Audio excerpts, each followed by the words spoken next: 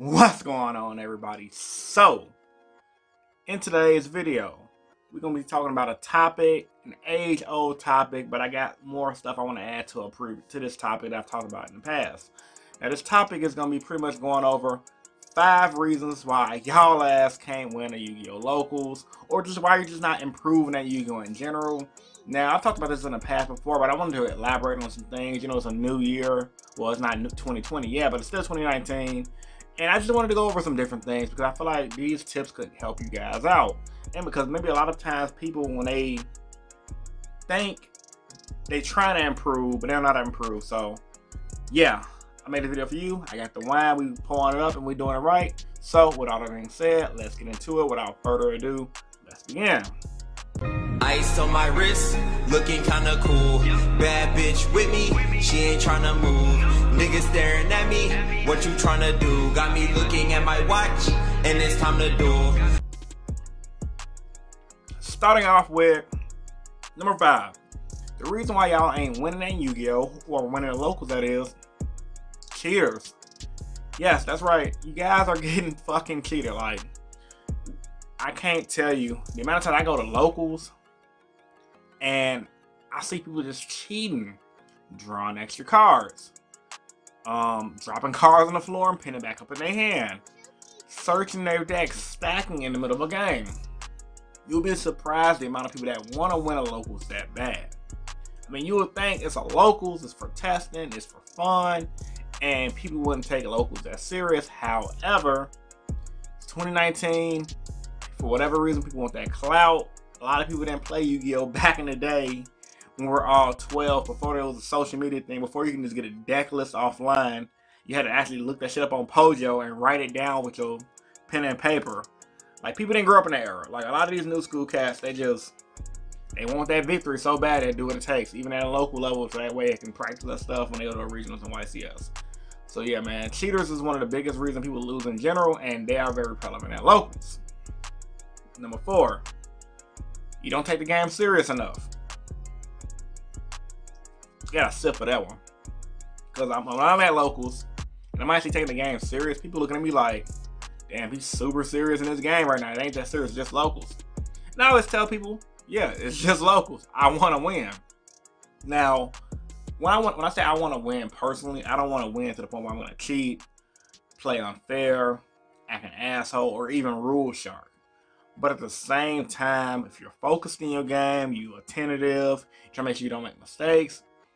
I, I have like laser focused vision sometimes, and I'm, and I'm naturally like an introvert. Instead of being an extrovert, like talking, I don't need people's energy to pump me up. I pump myself up.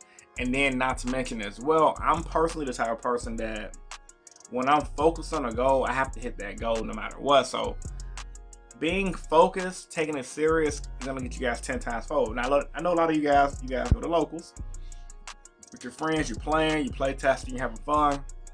And granted, having fun is what it's all about. You gotta have fun. You know, this is a game at, at the end of the day. But if you guys want to be competitive, you guys have to take the game serious. There's nothing wrong with saying, you know, I put on my game face today, I'm gonna go to locals, I'm gonna win this bitch. There's nothing wrong with getting mad and it's like, fuck, I lost, man. I could have made this misplay. There's nothing wrong with that. There's nothing wrong with people talking to you at locals while you're playing in the middle of your game. And you just like, okay, give me a second. You know, I'm just trying to focus. Just give me a damn second. Like, there's nothing wrong with that, guys, man. So, and this wine is good, especially after you eat like some some beef. Wine and beef is amazing. But yeah, but yeah, man. Anytime you guys um, you know, take things seriously, your results will happen. So number four, you know, you gotta take it seriously. You guys will prevail. Number three, you net deck too much. Now this is gonna be controversial because a lot of people say, Chris, net decking is good. Net decking is amazing. Everyone net deck, you net deck. True. However, me personally, when I find a deck I want to play, I don't copy someone else's deck list card for card. I might look at a deck list for ideas to see the combos on why they ran certain things, I'd be damn if I'm gonna go ahead and copy somebody else's idea card for card, not knowing why they played that specific card. Because I'm a sole believer that if you do that, even if you come up to the same conclusion they came up with, you, you're gonna miss something. So let's say if I copy someone's deck list, right? and I copy a card for card, and I'm learning the basic combos. What about the intricacies when you draw bad? What about the intricacies when your opponents is outplaying you? What about the intricacies when they just blow past your ultimate combo? What do you do then? See, when you actually build your deck to the max, and let's say, for example, you do get to the conclusion like uh, a YCS winner got with certain card choices, you understand the road it took to get there. It's just gonna be at, at a lower rate because don't get the shit twisted, guys. The people who actually make the good deck list, they play test a lot. Like I tell people, me personally, if I'm if I was actually taking card games as serious as I used to be, like if I had a team and everything, it'd be 20 to 30 hours a week minimum play testing, whether it was online or in person. I prefer in person because you can um, get the bluff factoring involved, like you guys, you know, bluffing each other in person. However, you know, versus not doing it all because some people just do 10 hours and i'm pretty sure a lot of pros don't play test that much however i'm just i just like to overdo things to get better but regardless the, the people who actually top a lot they playtest this deck so much they come to the conclusion because they have people to bounce ideas off of. So if you're a person like me who you don't have no one to bounce ideas off of you're gonna need that extra playtest, and you're gonna need to build a deck from scratch. If you see a deck like heroes or Salamangreats look at my deck. Look at someone else's deck. Take the ideas but come to your same conclusions at the end of the day. Now, I might see a hero deck and I might trash and say, I don't like this list, whoop bam. But if it works for that person, it works for that person. I might be able to learn something from that person. So never be afraid to try your own ideas, man, because net decking ain't always gonna get you that victory. Number two, you guys are distracted. Now, what do I mean by distracted? distracted meaning like not by people on locals, not people around you, but you're distracted up here. Your mind is not focused on the game. Now I can, I can you can kind of combine that with you not taking the game serious enough, but not necessarily because me personally, like for example, I'm gonna be real with y'all right now. I've been going through some shit in my personal life for the past two years now. A little bit of like a quarter life crisis, slight depression.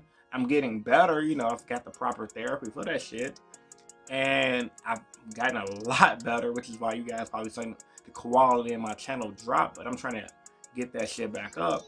So, you know, when you're distracted like that, whether if you're pissed off, depressed, stressed, can't focus, it's always good to take a break, man. Don't be afraid to take a break. But at the same time, you have to come back to it if you guys want to be successful. And you guys also have to see what is causing the stress in your life to begin with. What is causing you to be distracted to begin with? Is it a girlfriend? Is it money issues? Is it a living situation? All of those things can contribute to that. So yeah, man, when you guys figure that out, make sure you get that shit figured out. Wrap it in a buck, come back to the game, and you guys will do a lot better.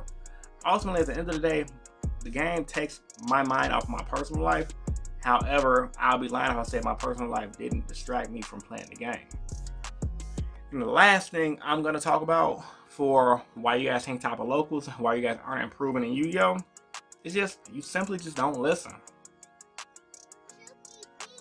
Yeah, Yu-Gi-Oh! players don't listen. Not all Yu-Gi-Oh! players, of course.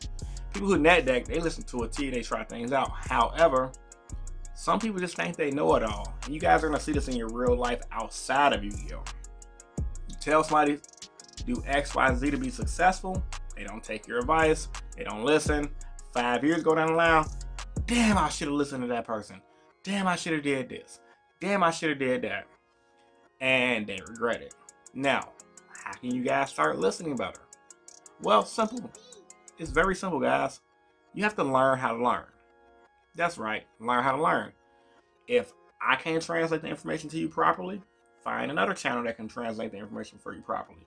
If your buddy can't break down why you should play a specific tech card, ask someone else to break down why you can play a specific tech card. If someone like Billy Brake is telling you the way to be a YCS champion is doing X, Y, Z, and you want to you want to cut out want to cut out Y and go straight from X to Z without doing the groundwork in the middle, you're not going to be successful, guys. And I'm telling you, this is from real life experience to non-real life to my card game experience people do not listen when you try to help them, and people do not listen when players get them advice. Because some people just feel like they know it all. Like I've seen people at locals like, nah, I know how to play this. I know what I'm doing. And then you try to walk through a combo, they'll make every little excuse how they didn't play error. Like, bro, you play error because you didn't play this card this time. I didn't play error because I already did this, you like, know what? I'm done. I'm done. Keep losing, bro. Keep losing. I'm done. So, yeah, man. You guys have to listen better, man. And listening better comes from just admitting when you're wrong, admitting that you need the help, and like I said, learn how to learn. I didn't personally learn how to learn until I was in college, as crazy as that sounds. Because I was when I was younger growing up personally, like I've always got mediocre grades, like D's, C's, and F's. In high school, it was the same thing, but college, it was like the catalyst for me to actually learn how to I learn. And how I learn is I'm more of a hands-on person. I can see things, I focus on it, and I can just kill it like quick. But I never never had no one to guide me through that as a child. So I feel like a lot of people, if I went through it, a lot of you guys maybe go through the same thing. So tell me what you guys think, man. Um, post your thoughts and opinions about this video in the comment section down below. Um, if you guys think you have an issue with winning at Yu-Gi-Oh! locals or just Yu-Gi-Oh! in general, let me know. I'm willing to give you guys advice in the comment section down below as well. And also, man, I'm having issues making video ideas. I'm gonna be real with you guys. So if you guys have any video ideas for future videos, if you guys like me doing my top five, top 10 list, let me know. I haven't done a countdown video in a while.